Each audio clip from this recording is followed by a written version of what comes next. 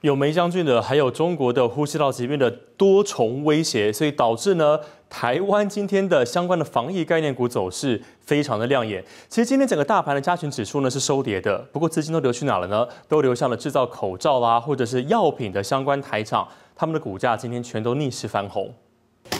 局忙着整理货架，搬出刚进货的口罩、酒精。因为中国梅将军疫情严峻，台湾很难防堵，药局防疫物资全被拖。有感染的民众比例确实也在增加，所以之前口罩有冷淡了一阵子哦。那最近可能酒精、口罩这一些个人卫生用品的这一些自我防护的一些疫情的东西，有稍微在增温。中国疫情连带也牵动台北股市，早盘开高后翻黑震荡下杀，失守一万七千一百五十点。全指股台积电与 AI 族群修。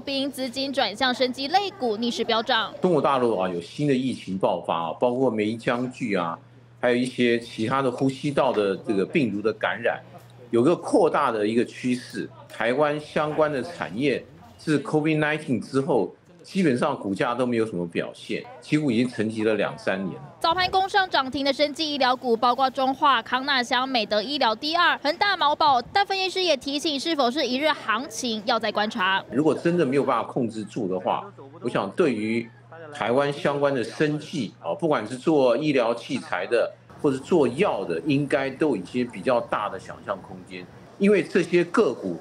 从二零二零年之后，基本上都没有很大的行情，股价都于位于相对比较低的位阶，啊，所以说看起来应该还是能够反映一段时间。但股票市场也不是天天过年，与其生技股不是大好就是大坏，投资人入场前也得多留意。金新闻综合报道，立刻下载静新闻 App，一手掌握新闻时事，尽善尽美，尽好新闻。